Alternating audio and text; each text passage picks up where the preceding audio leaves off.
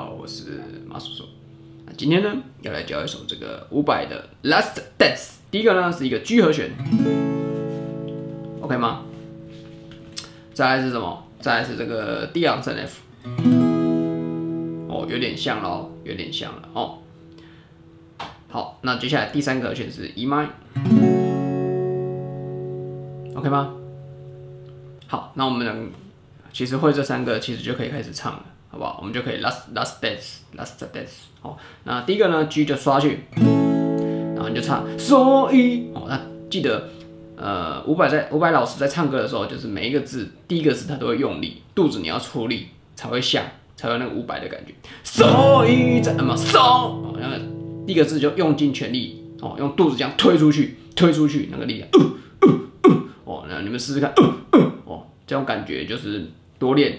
就会像伍佰，所以暂时将你眼睛闭了起来，有没有？嗯哦，每次用力一下，嗯嗯伍佰老师的这个丹田应该蛮有力的哦。然后接下来是下一个是 A 麦，黑暗之中漂浮我的期待，我大概是这种感觉。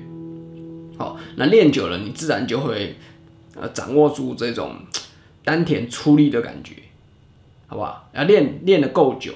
哦，不然你常常会 不小心就破音，哦，要稍微练习一下。好了，那会了以后呢，我们稍微就要练习这个右手的刷法，好吧？右手就是呃一开始就是一个这个下下下上，OK 吗？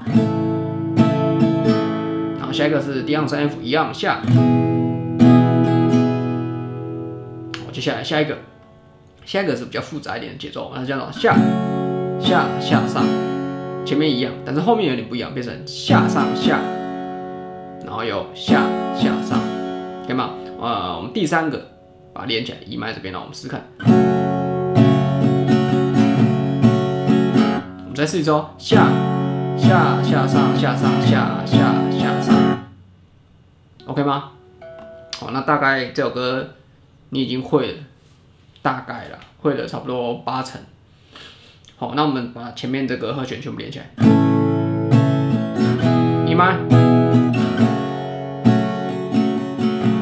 ，A 麦，G D。哎呀，来，我们准备来 dance 一下喽，dance 一下哦。那我们带入歌词，So 哦，记得哦，要稍微去试一下 key，不然会像刚刚那样走音。So So So 暂时将